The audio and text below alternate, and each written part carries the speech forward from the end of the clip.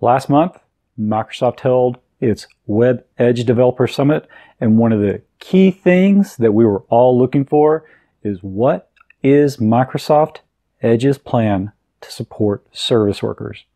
In this video, not only will I tell you what the plan is, I'll even show you how to use service workers in Microsoft Edge.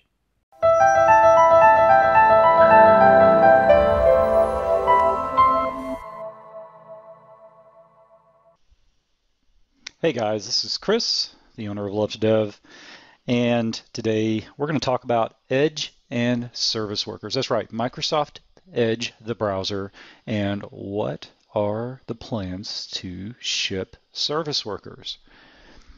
Well, I'm a little late in this.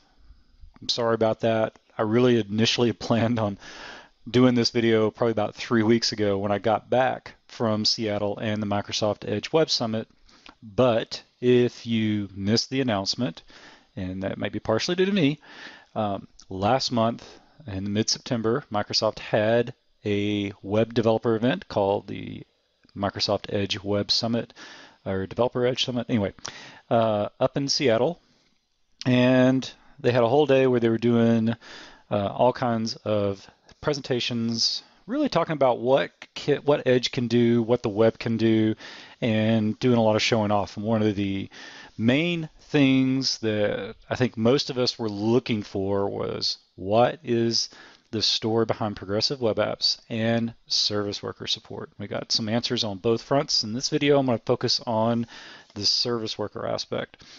Now, I may be the number one guy who has just been super excited about service workers in Edge since I first heard about service workers. And I've been anxiously awaiting for about two years for Edge to support service workers. And I got a little closer at the, uh, the summit, but not all the way to where I wanted to be. And that is full consumer uh, shipping of service workers. So let's cover what's going on right now. Now, as I record this, it's, oh, I think uh, October 11th, 2017. And uh, on the 17th, which is next week, I believe next Tuesday, um, the fall creators edition of Windows will ship to the general consumer. And uh, basically, that means that the most the people running Windows are going to get an update. When I say most, I have to uh, couch that in enterprises are always super slow to actually deploy changes, which is very unfortunate these days because they're really hurting themselves in a lot of ways. But at the same time, I do get why they do that on a delayed rollout. But I won't get into the politics and nuances of that today. Let's just focus on service workers. Now, if you're like me and you are on the Insider program, which means you get um, early previews of the latest version of Windows, uh, you probably already have the ability to turn on service workers in Edge, and that's what I'm going to show you right now. So the roadmap is the Fall Creators Edition is shipping a version of Edge that has service workers uh, in there, but they're not lit, on, lit up by default. They're gated behind an about flag. And if you aren't familiar with about flags, this is how browsers are shipping early uh, implementations of new APIs and features. They're not going to be shipping those behind vendor prefix type stuff anymore. That has just created a giant mess. Again, won't go into that. Every browser, as far as I know, supports the about flag semantic, and the easy way to do that is to go to your address bar and to type about colon flags, and that will uh, bring up a page like this. In Edge, it's pretty short. In Chrome, it's like a million lines long because they just play with a billion things, uh, letting you get to it. Now, the reason why uh, Edge or Chrome or Firefox or Opera or any of these other browsers will ship things like this is because they uh, write their implementation to the spec, to the, to the actual spec, whether that be uh, a W3C spec around HTML or, or, or, a web API, or could it be JavaScript and they're doing against the ECMAScript uh, spec, or it could be a CSS uh, implementation, the CSS modules, what have you. Uh, there's a variety of things that uh, they could be shipping um, a preview to. It could be something internal, right? And this gives them the ability to, once they feel like they've got a reasonably stated beta version, they can put it out to people like me who will play with things a little ahead of time and they can get some telemetry on what is working and what's not working because they can't account for every crazy scenario that we come up with to write code. Um, and this will give them more feedback so they can flesh out potential issues without breaking the internet. So this is a good thing. And that's really that's where we are right now with uh, Microsoft Edge shipping service worker support in their browser. So uh, the first thing you'll see right here is the developer settings, but what you want to do is you want to scroll down to the standards preview section. And the main thing you want to look at is enable service workers. If this is unchecked, then you want to, do you want to check this? And I, I'm going to rephrase this. You want to check this if you want to test out service worker uh, support in Edge. Uh, I don't necessarily recommend keeping this checked on by default because you may be breaking other things um, simply because you're trying to, to flesh things out. So you may get some quirky behavior if you leave this on, just to warn you. But if you turn this on, you will get a little message down here at the bottom. And let's see if I, if I do this, maybe the message, there we go. You need to restart your browser for the changes to take effect. And then you will have to close all the instances of Edge that you may have open, and you can restart back up again. And at that point, you will have service worker implementation. And that's honestly all there is to it to turn service worker support on in this Fall Creators Edition. Now, before I go on to actually demonstrate it, what is the plan? Well, the plan is for the Fall Creators Edition to be that beta timeframe. And unfortunately, Edge is not really decoupled from the operating system as far as shipping updates just yet. And that's that's an unfortunate thing. I wish it wasn't, but it is. Um, so I think what they're really shooting for, what their goal is, is to be able to ship general consumer uh, availability of service workers uh, with the spring uh, Windows update. I'm not sure what that's going to be called. To be honest with you, I haven't paid attention enough to it. But that's the plan. Is hopefully by spring they can just turn it on by default, and everybody will have access to this wonderful new platform called Service Workers. Now, how are, as, are we as developers going to be able to work with this? Well, right now it's a little interesting, and I'll explain this uh, as we go through. Now I've got a demo site that I'm putting together for the course that I'm about to release uh, on progressive web apps.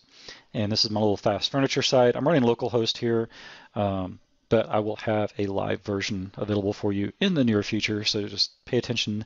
You will definitely want to subscribe to our newsletter uh, so that you can uh, keep up to date on when we announce that course so that you're ready to go. Now I do have a service worker uh, enabled on this. And let's go to the developer tools and this is what we got. Okay, now, um, if you aren't familiar with the Edge developer tools, um, that's okay. We'll deal with that uh, in another video maybe. Uh, we'll go through what's there now. But um, first, let me just go to the console and you can see that Right here, registration was successful, and that is actually coming from my service worker registration code. You're not seeing the activate and the install event uh, messages echoed out here, and I uh, think we should get them in the other one. I haven't looked, to be honest with you.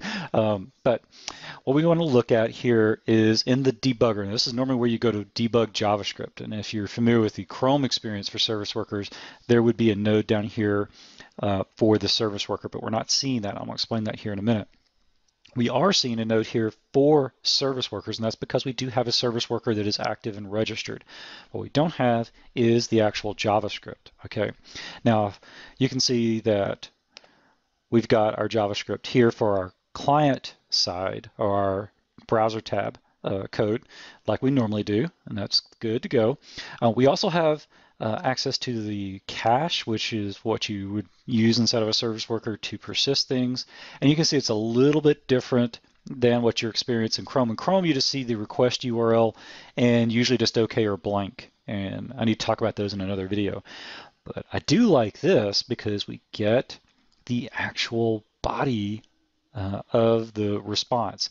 Now notice here in the images, you're only getting uh, the MIME type, you're not actually getting the actual text part, which you get right here. And this is, I think, pretty interesting because you can change it. That's really interesting. We had to play with that. Um, opaque design. That's this is this is a lot more informative than what Chrome's getting us. So I really, really like that. Uh, and then I've got my pre-cache one here. There we go. I notice it's a little bit late in building the list up. I don't think that's a huge problem. I don't know what the internals are here, but we do have access to the cache and we have access to a little more de detail here. So that's really cool. Now, if you're familiar with Chrome and the application tab, there is a service worker sub tab, node, whatever you want to call it. And it's sort of similar to this one. Now you can, I haven't played with the push and the update. I have unregistered one, um, but I haven't played with the push yet. I'll get to that later. Um, but right here we have the service worker for this scope. And if you're not familiar with service workers, you need to uh, definitely take my course on progressive web apps where we will definitely cover the concept of scope. But you can see here we got service worker. It is active and it is running and we get a little version number here which is just nice. Now I can stop it or I can debug it which is inspect.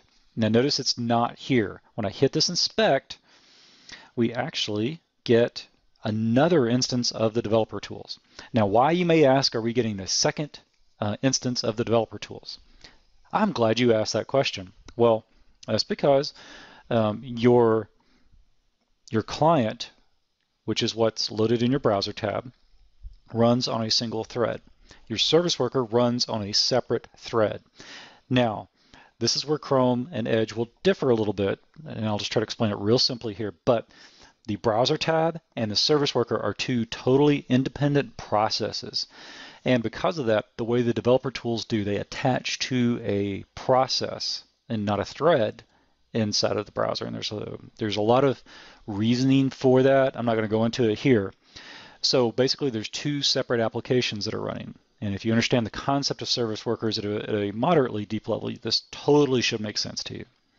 Now, um, that being said, the developer tools attached to a process instance. So this instance of the developer tools, which you're going to be able to debug the service worker, are attached to the service worker instance. Okay, and this will give you access to the actual code where you can set breakpoints and everything else that you're normally used to, doing watches, things like that. So if we go with the fetch event, we can, let's see, here we go. I'm just going to pop it in here and we'll do this and I will go back to I wonder why that didn't pop down. We'll just go to the categories page and hopefully things won't break on me. Of course they break when I'm trying to record. Why? Why are we doing this? Oh, I know why. That's because I've got a breakpoint. Okay. So it's not going to pop back in um, front of your face like I'm used to. So anyway, the reason why it stopped is because we were caught right here. Okay, so we got the request object, and you can see that there are the prototypes, which have, there's the URL down there at the bottom. You can't really make it out because my screen's too short, um, but you see all the other stuff that's going on here. What I'm going to do is do this, and we will hit F8, and hopefully we'll get a response back. There we go. Oh, it just reloaded the whole thing. How about that? That wasn't what I wanted to see. So maybe we found a bug. Like I said, maybe a little bit buggy at the moment. So we got over here.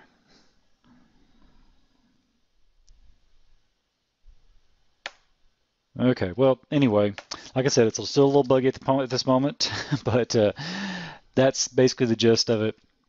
I hope this will help you get started in seeing what's going on with Edge and service workers. And hopefully, as the day goes on, I will be able to figure out some of the issues that I'm seeing right now and make a better video uh, definitely for the course because I got to get this stuff recorded for the course so we can get it launched.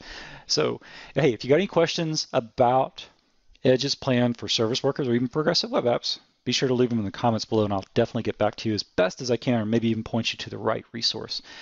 And um, definitely like the video, share it with your other developer friends because service workers, progressive web apps are super awesome and developers need to be aware of these and share them with your stakeholders, bosses, all those people who you need to impress with doing and utilizing the web to the best possible ability.